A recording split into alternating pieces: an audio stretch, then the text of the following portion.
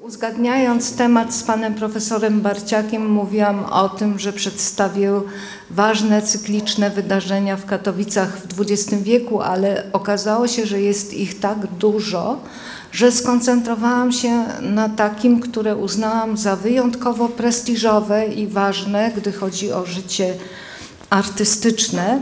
I dlatego skoncentrowałam się na Biennale Plakatu Polskiego, uznając ją za jedną z najstarszych, wciąż kontynuowanych, prestiżowych imprez cyklicznych w życiu Katowic, oczywiście w życiu artystycznym. Ale chciałam jednak wywiązać się przynajmniej częściowo z podjętego tematu.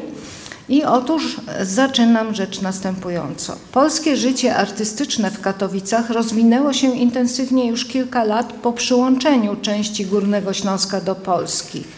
Jedną z pierwszych prestiżowych imprez organizowanych w stolicy województwa śląskiego w okresie międzywojennym była wystawa obrazów i rzeźby twórców skupionych w Związku Polskich Artystów Plastyków w Krakowie, Związku w Zakopanem, Towarzystwa Artystyczno-Literackiego w Sosnowcu. I ta wystawa została zorganizowana już w 1928 roku przez Towarzystwo Wystaw i Propagandy Gospodarczej w Katowicach. Tu trzeba powiedzieć, że ów organizator, Śląskie Towarzystwo Wystaw i Propagandy Gospodarczej, którego dyrektorem był Jerzy Łaszcz, rozpoczęło działalność w końcu 1927 roku, a założycielami tej instytucji były władze ówczesne miasta Katowice, Królewska Huta, Mikołów, wydziały powiatowe, Izba Handlowa i Izba Rzemieślnicza, a nawet Syndykat Polskich Hut Żelaznych. I ta instytucja stawiała sobie za cel zarówno organizowanie wystaw, targów i pokazów z dziedziny przemysłu, ale też nie stroniła od organizacji wystaw artystycznych. I do sukcesów tej instytucji należą takie ekspozycje jak na przykład wystawa wnętrza domu, wystawa samorządów śląskich na Powszechnej Wystawie Krajowej w Poznaniu w 1929 roku, czy odbywające się rok rocznie targi w Katowicach. Tutaj właśnie na jednym ze zdjęć mamy zarówno doktora Jerzego Łaszcza, ten po prawej stronie a e, także samych targów katowickich. To jest 1900, to były już dziewiąte te targi, pierwsze zorganizowane w 28, czyli te, które ja pokazywałam w 37. Tak, te, które na zdjęciu ujęłam, to 37. Stosunkowo wcześnie swoje indywidualne wystawy urządzali w Katowicach artyści przybyli do tego miasta po jego przyłączeniu do Polski.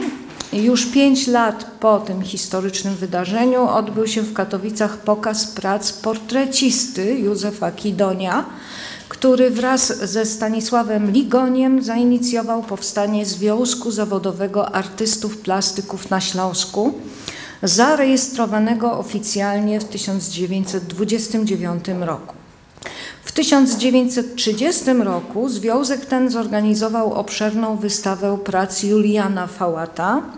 Jak można było przeczytać we wstępie do wydanego przy tej okazji katalogu i tu cytuję, za tak wielkie ukochanie Śląska, że wybrał go wielki malarz na ostatni swój w życiu pobyt stały i na odpoczynek wieczny – postanowił Zarząd Związku Zawodowego Artystów Plastyków w Katowicach uczcić go jako pierwszego w swojej nowej siedzibie wystawą zbiorową.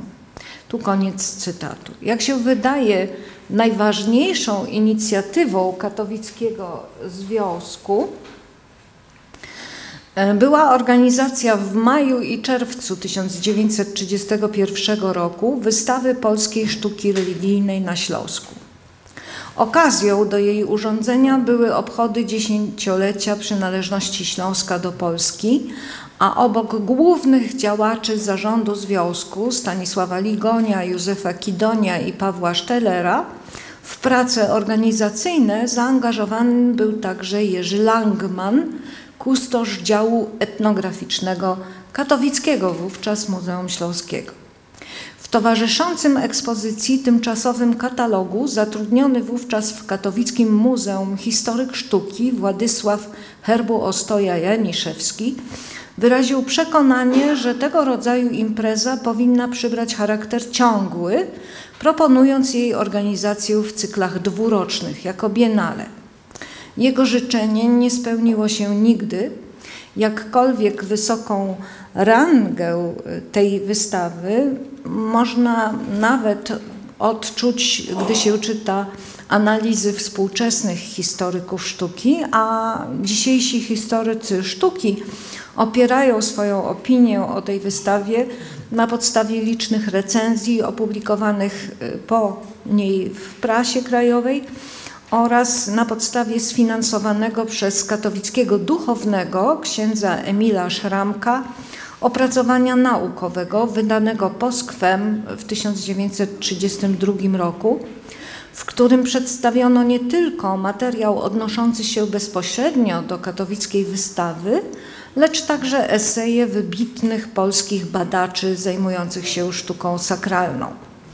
Sukcesu środowiska katowickiego z 1931 roku nie zdołał niestety powtórzyć podejmujący w tym kierunku starania ksiądz Emil Szramek, który ostatecznie zaangażował się w napisanie obszernego tekstu do katalogu wystawy współczesnej sztuki religijnej, urządzonej przez sekcję artystów plastyków religijnych imienia brata Alberta, ale niestety nie w Katowicach, tylko w Krakowie. Czas okupacji, a także mm, okres stalinizmu wpłynęły wprawdzie destabilizująco na życie artystyczne Górnego Śląska, jednakże wynikająca z centralizacji władzy w powojennej Polsce konieczność ujęcia życia artystycznego w ryzy instytucjonalne sprzyjała organizacji imprez cyklicznych w Katowicach. To też mniej więcej od początku lat 50. XX wieku w stołecznym dla utworzonego po wojnie województwa śląsko-dąbrowskiego, stalinogrodzkiego, a potem katowickiego mieście Katowice zaczęły się regularnie odbywać doroczne wystawy fotografii organizowane przez Związek Polskich Artystów Fotografików oraz malarstwa, rzeźby i sztuki użytkowej urządzane przez Związek Polskich Artystów Plastyków. Pomimo aspiracji ogólnopolskich lub nawet międzynarodowych, ekspozycje te miały zazwyczaj jednak wymiar regionalny. Sytuacja znacząco zmieniła się za sprawą podjęcia inicjatywy związanej z organizacją w Katowicach ogólnopolskiego Biennale Plakatu imprezy, która do czasów współczesnych cieszy się rangą najważniejszego przeglądu dokonań twórców tej dyscypliny. Nieżyjący już wybitny katowicki artysta Jerzy Moskal, żyjący w latach 1930-2016, urodził się w Drohobyczu. Znany jest powszechnie jako autor scenografii do kilkudziesięciu spektakli telewizji polskiej. Niewielu już dzisiaj pamięta, że z jego inicjatywy zorganizowano pierwsze ogólnopolskie biennale plakatu w Katowicach. Moskal był absolwentem katowickiej filii Akademii Sztuk Pięknych, uczelni, która została powołana do istnienia jako zamiejscowy Wydział Propagandy Sztuki, funkcjonujący przy krakowskiej Alma Matris, najpierw wrocławskiej, potem krakowskiej. Już jako student Jerzy Moskal zapisał się do pracowni Bogusława Góreckiego, kształcącego swoich wychowanków w zakresie sztuk projektowych, zwłaszcza w zakresie projektowania plakatu. Mniej więcej dekadę po obronie dyplomu, w czasach, gdy coraz głośniej mówiło się o polskiej szkole plakatu, wyszedł z pomysłem, by w Katowicach urządzać co dwa lata wielkie przeglądy plakatu naprzemiennie polskiego i światowego. Pierwsza tego typu impreza, zaplanowana jako przegląd dorobku twórców krajowych, odbyła się w 1965 roku. Kulisy organizacji katowickiego Biennale przedstawił dopiero w 2005 roku bezpośredni uczestnik związanych z tym wydarzeń, Jerzy Dałek, też już nie żyjący, żyjący w latach 1932-2021. Otóż Dałek wspominał, i tu cytuję, ambitne i silne artystycznie środowisko grafików w lwiej części wywodzące się z miejscowego Wydziału Grafiki Krakowskiej ASP i z nim niejednokrotnie ściśle związane, wspierane też edytorskimi realizacjami katowickiego WAG-u, stawało się coraz bardziej widoczne na arenie krajowej. I właśnie te okoliczności, a zwłaszcza wzbudzający coraz powszechniejsze uznanie plakaciści śląscy, zarówno tu tworzący, jak i stąd się wywodzący, sprawili, że u Jerzego Moskala dojrzewała myśl o zorganizowaniu imprezy umożliwiającej konfrontację osiągnięć artystycznych tej dyscypliny i to w skali nie tylko krajowej. Idea ta tak długo, wręcz obsesyjnie nękała autora, aż w końcu z wspierającym go w tym pomyśle Jerzym Kwiatkowskim zaczęli zarażać nią innych. Ja tu przypomnę, że Jerzy Egon Kwiatkowski to rzeźbiarz, który stworzył wiele rzeczy i w katedrze Chrystusa Króla, i tę rzeźbę rodziców z dzieckiem, e, która jest na Koszutki i także kiedyś na Urzędzie Stanu e, Cywilnego w Katowicach, tym przy dzisiejszej ulicy Korfantego, a kiedyś ulicy Armii Radzieckiej. Czerwonej. E, czerwonej, przepraszam, tak jest, czerwonej. Otóż Jerzemu Moskalowi chodziło o to, by znana już wtedy w świecie i nazywana polską szkoła plakatu mogła być poddawana konfrontacji właśnie w skali światowej, międzynarodowej. Impreza organizowana jako biennale, a więc w cyklu dwuletnim, poprzedzona miała być dokonywanym o rok wcześniej przeglądem ogólnopolskim. Obie te imprezy przemiennie miały odbywać się w Katowicach. Ja dalej cytuję Dałka. I Dałek pisał: Projekt rzeczywiście ambitny. Rozdzielono zadania. Autor koncepcji miał przekonać Warszawę, a więc Ministerstwo Kultury i Sztuki oraz Centralę Związku Plastyków.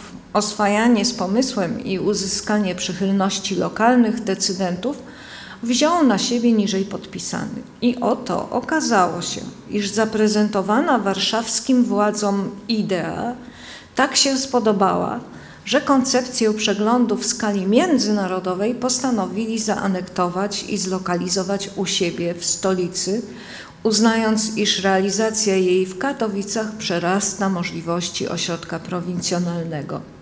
Gwoli prawdy dodać należy, że stanowisko takie przyjęto pod wyraźnym wpływem Józefa Mroszczaka, wówczas już twórcy warszawskiego, choć przecie wywodzącego się z Katowic, założyciela ośrodka dydaktycznego i wychowawcy wielu tutejszych grafików. Ja powiem, że te słowa Dałka były dość odważne, ponieważ e, pewnie Państwo już wiedzą, że w Warszawie w 1965 e, w 1966 roku urządzono światowe e, Biennale Plakatu.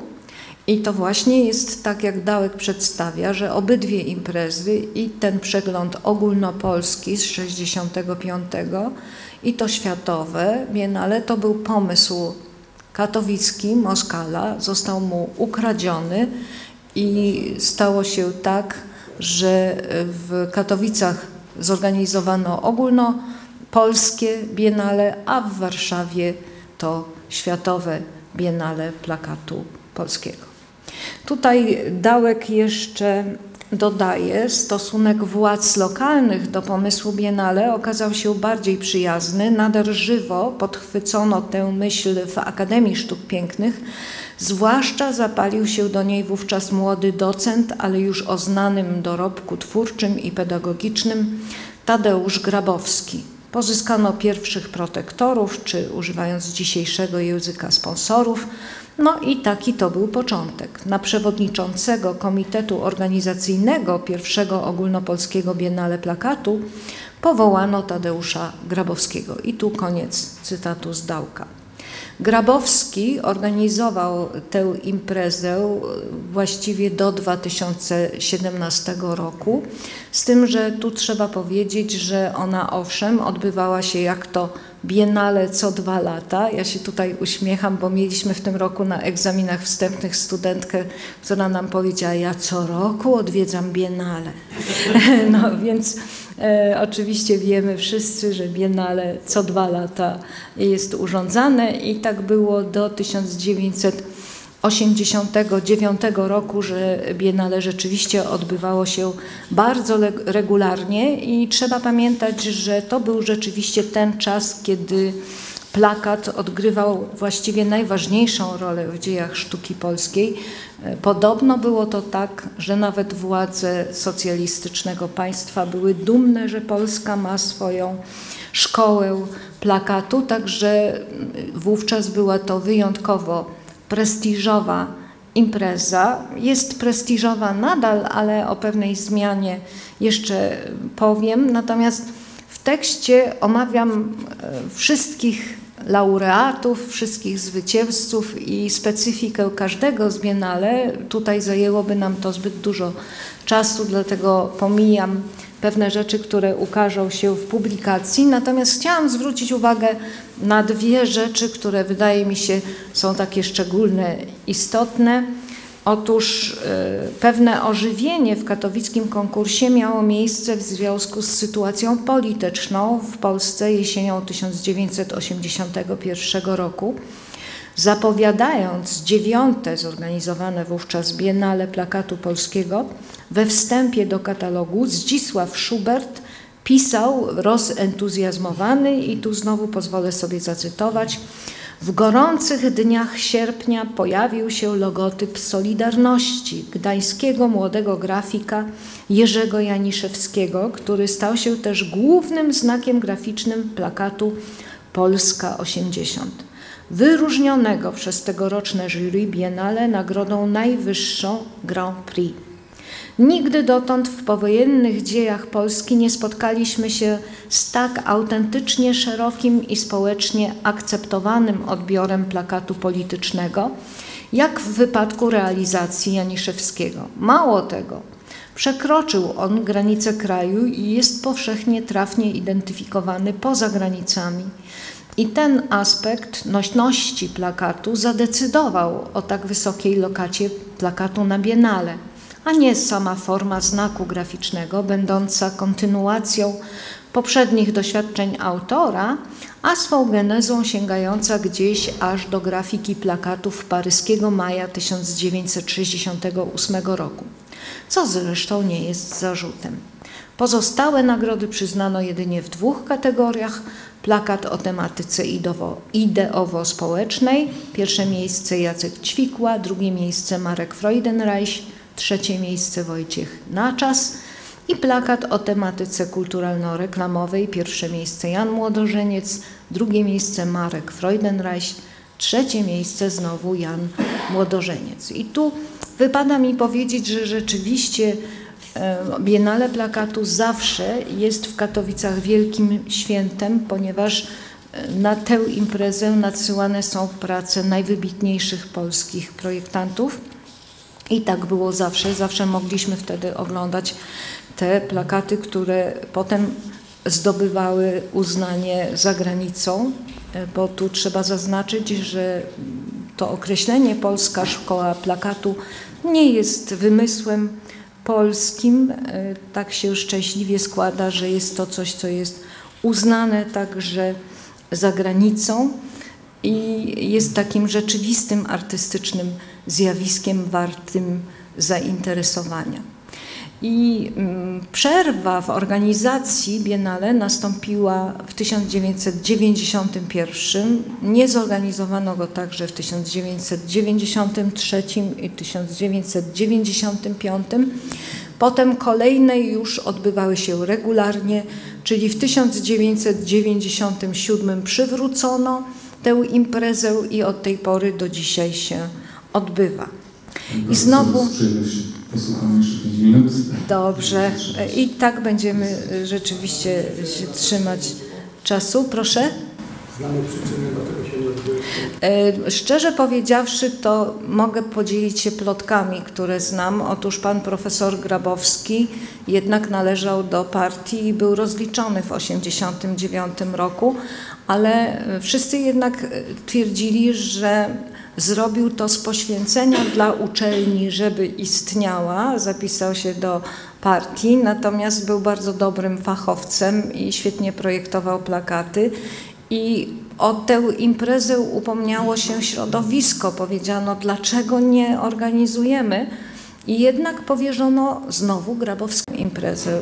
Y, Także Grabowski odtworzył tę imprezę w 1997 roku, a ja y, oczywiście omawiam wszystkie kolejne i wszystkich laureatów i to będzie w tekście, a teraz ponieważ jak już usłyszeliśmy mam mało czasu, to powiem tylko, że w 2019 roku, w trakcie 26 już Biennale Plakatu, e, przekaz zawarty w jednym z nagrodzonych plakatów okazał się tak mocny, że wywołał skandal. Sześcioosobowemu jury przewodniczył wówczas Mieczysław Wasilewski, by nie powtarzać schematu zastosowanego podczas kilku poprzednich edycji, kiedy starzy mistrzowie byli nagradzani. Przyznano Grand Prix młodej projektantce Aleksandrze Willert za jej plakat z dziedziny ochrony środowiska zatytułowany Pray for Amazonia. I tu muszę powiedzieć, że jurorzy byli wyjątkowo zgodni w przyznaniu złotego medalu e, Szymonowi Szymankiewiczowi, który swoim plakatem o tytule Loading, trzy kropeczki, przestrzegał Europę przed narastaniem nastrojów profaszystowskich. Decyzję jury zakwestionował fundator nagrody, marszałek województwa śląskiego Jakub Heustowski, który wycofał się z jej finansowania. Wokół całej sprawy stworzył się szum medialny. Wprawdzie nie pomógł on laureatowi, który nigdy nie doczekał się należnej mu gratyfikacji pieniężnej, jednak ów niezaprogramowany rozgłos sprawił, że wieść o katowickiej imprezie artystycznej dotarła do wielu gremiów, które wcześniej nie wiedziały o jej istnieniu. I tu muszę powiedzieć, że w 2021 roku znowu regularnie odbyło się już 27 Biennale Plakatu. Przyznano nagrody. Laureatami zostali Eugeniusz Skorwider, Grand Prix, Mirosław Adamczyk, złoty medal, e, Filip Ciślak, srebrny medal i Tomasz Kipka, brązowy. Ale dla mnie interesujące było coś innego, mianowicie E, Krzysztof Dido, Dydo, który jest z Krakowa i jest słynnym kolekcjonerem plakatu, był wówczas w jury i mimo, że 2021 rok nie był jakimś takim szczególnym, mm, szczególną datą, to jednak e, Dydo pozwolił sobie w katalogu na swoiste podsumowanie i jakby kończąc mój referat chciałam zacytować właśnie to, co Krzysztof Dydo napisał o naszej imprezie, do tej pory ostatniej, bo oczywiście można się domyśleć, kolejne Biennale Plakatu to 2023 rok, czyli przyszły rok. Otóż Dydo napisał, Biennale przeżywało w swojej historii różne momenty, o ile dziewiąta edycja w 1981 roku była ciekawa ze względu na tło historyczny i dynamiczny okres oraz rekordową liczbę 127 zakwalifikowanych artystów z 275 pracami na 177 zgłoszonych uczestników, czyli w sumie 555 prac. To z kolei 13 edycja w 1989 roku dzięki rozszerzonej formule, a wówczas również instytucje mogły nadsyłać swoje wydawnictwa, pozwoliła zakwalifikować 114 artystów i 309 prac. Byłem świadkiem zapaści w 1983 roku związanej ze stanem wojennym, kiedy w dziesiątej edycji tylko 40 autorów zgłosiło swoje prace oraz kiedy nastąpił kryzys organizacyjny Biennale Polskiego plakatu i nie odbyły się kolejne edycje w 1991 i 1993 roku. Wówczas wspólnie z kolegami, artystami polskimi i francuskimi, pasjonatami zarówno tej imprezy, jak i polskiego plakatu, szukaliśmy rozwiązania, aby stworzyć przynajmniej jego namiastkę w postaci konkursu plakatu polskiego, który w tej postaci miałby udokumentować osiągnięcia poprzedzających go dwóch lat. Konkurs i wystawa odbyły się w 1993 roku dzięki pomocy Górnośląskiej Macierzy Kultury. Od początku prowadzenia Galerii Prakatu w Krakowie swoim moim marzeniem była współpraca z młodymi artystami, co pozostawało mi we krwi i pozostało aż do dzisiaj. Ze starszymi mistrzami sztuki plakatu miałem już kontakty, ale pójście utartym szlakiem nie było dla mnie satysfakcjonujące. Biennale Plakatu Polskiego i pracownia Plakatu ASP w Katowicach, jak też pracownia Plakatu ASP w Krakowie, były znakomitymi okazjami i miejscami do poznawania młodych adeptów sztuki plakatowej. W następnych latach tych miejsc pojawiło się więcej. Uczestnictwo w pracach organizacyjnych, komisji kwalifikacyjnej, czasami w jury, przez blisko ćwierć wieku z między innymi tak znakomitymi postaciami plakatu jak Tadeusz Grabowski, Tomasz Jura, Michał Kliś, Ferdynand Szypuła, Stanisław Wieczorek, Władysław Pluta, Artur Starczewski, Tomasz Bogusławski, Roman Kalarus, czy też muzealnikami, historykami jak Zdzisław Schubert, Andrzej Szczerski, Mariusz Knorowski – pozwoliło mi nabrać dystansu i opanować emocje w ocenie nadsyłanych prac i uzasadnianiu ich wartości. Pozwalało na nieustające śledzenie zmian, jakie zachodziły i zachodzą w plakacie. Pojawienie się, ale też i znikanie nowych nazwisk projektantów. Dla wielu jest to bowiem sposób na zaistnienie w środowisku twórców, z różnych powodów jednak nie kontynuują pracy w tym kierunku, by oddać miejsce innym. Plakat jednak cały czas żyje, zmienia się, zmienia się jego środowisko, bo coraz częściej działa wyłącznie w mediach społecznościowych oraz w ramach konkursów. Jednak nieustannie przybywa nowych projektantów chcących pokazać swoje możliwości w plakatowej rywalizacji i to właśnie czyni owo Biennale plakatu tak potrzebnym także i w naszych czasach. Dziękuję Państwu bardzo. Thank you.